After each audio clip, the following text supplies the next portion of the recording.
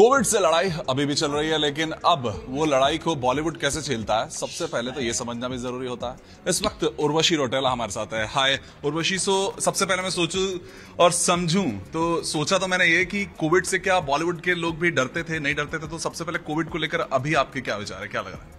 सी चाहे वो बॉलीवुड के लोग हो या कोई भी इंसान हो आई थिंक कोविड एक ऐसी चीज़ है जिससे दुनिया का हर एक इंसान डर रहा है अभी, और जितना हो सके प्रिकॉशंस करें,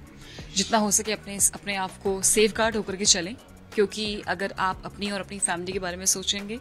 या फिर अपने जितने भी आसपास के लोग हैं, अपनी पूरी टीम मेंबर्स का सबका ख्याल रखें और बिकॉज़ कोविड नाइन्टीन अभी भी जितना मुझे लगता है अभी रहने वाला है तो जितना हो सके just take care of yourself because आपको बहुत लोग फॉलो करते हैं सोशल मीडिया पर ध्यान रखता है कि वट उर्वशी इज़ डूइंग और उसको कॉपी करने की कोशिश करते हैं। सो so, आपका सबसे पहले क्या मैसेज है? New year there Christmas is there so लोगों के लिए कि किस तरह से क्या बिहेव करना फ़र्स्ट ऑफ़ ऑल सभी को happy holidays I know festive season full on bang on तरीके से स्टार्ट हो गया है। बट फिर भी बिकॉज़ आई एम श्योर कि क्रिसमस पार्टीज़ होंगी न्यू ईयर पार्टीज़ होंगी और uh, सभी लोग एक ग्रुप में एकजुट होंगे। तो जितना हो सके अपना ख्याल रखें अपने हेल्थ का ख्याल रखें कोविड से बच के रहें।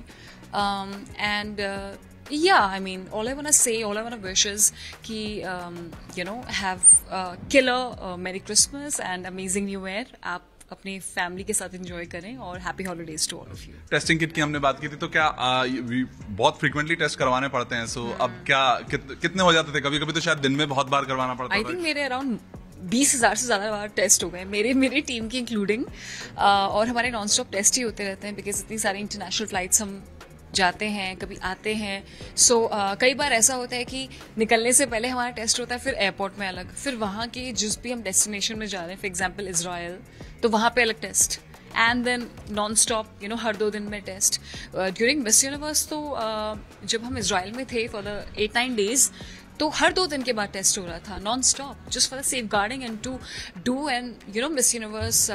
pageant in a perfect manner so so, आपने अगर ज़िक्र कर ही दिया है तो थैंक यू सो मच वो तो एक हिस्ट्री आपने क्रिएट की है. सो so,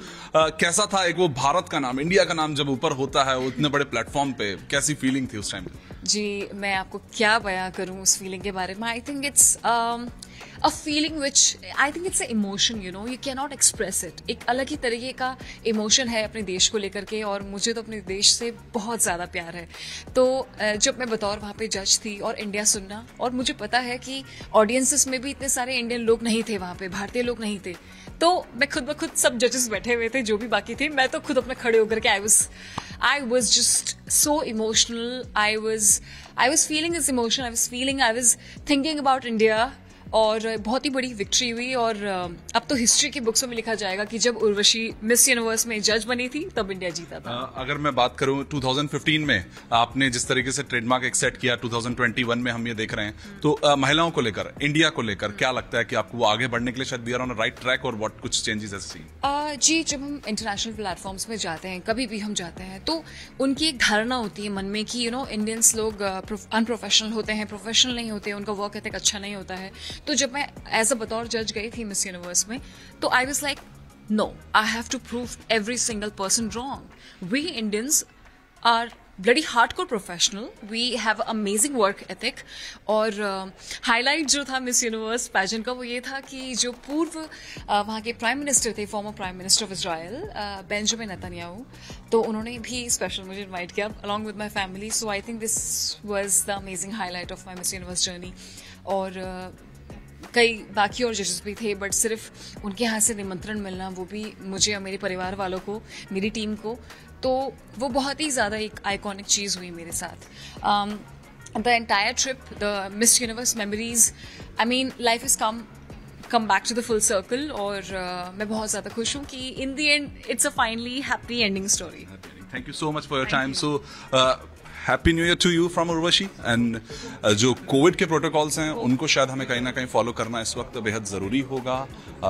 फेस्टिवल uh, जो है वो शुरू हो चुके हैं तो आप भी अपना ख्याल रखिए। और इसी तरह से टाइम्स नाउ ग्रुप के साथ जुड़े रहिए देखते रहिए।